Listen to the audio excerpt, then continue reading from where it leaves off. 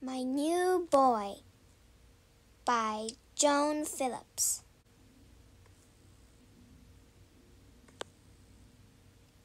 I am a little black puppy.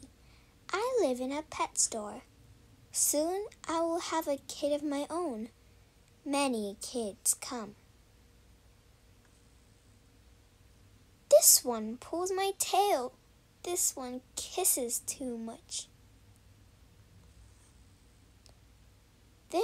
Not for me. Here is another kid. He says hello. He pats my head. Woof, woof! This is the boy for me.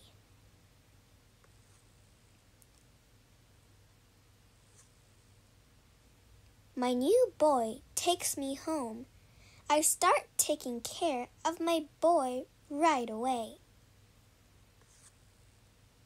I help him eat dinner.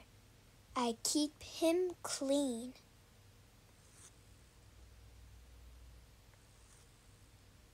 I teach him to play tug of war.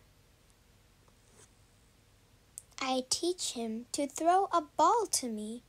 I show my boy tricks. I roll over I teach my boy to give me a bone every time I do a trick.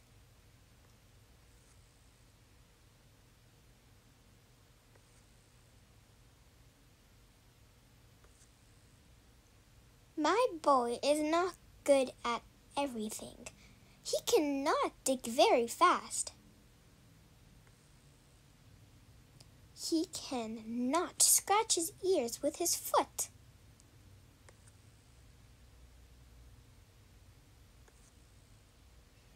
He cannot hide under the bed. My boy cannot run as fast as I can. I run and run. Oh no, I do not see my boy. Is he lost?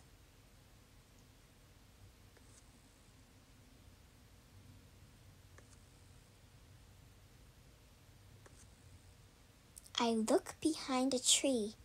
I look on the rocks. I do not see my boy. Is he on the swing? No.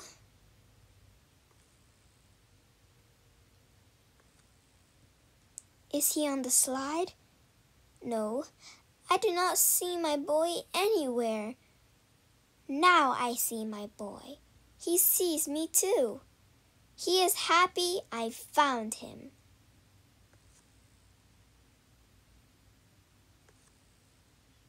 We go home. Woof, woof, woof. I tell my boy he must not get lost again. My boy is lucky to have a smart puppy like me.